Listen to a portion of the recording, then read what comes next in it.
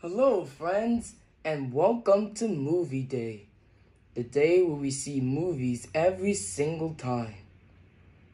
I wonder what movie are we going to be seeing today? Oh, I hope it could be it will be something good. Attention to all ladies and gentlemen. The movie you're seeing today is The Boss Baby Back in Business of Four Stories. Four stories? What four stories? The four stories you're seeing are the Coochie Coo, The Big Break, Picture Perfect, and Team Building.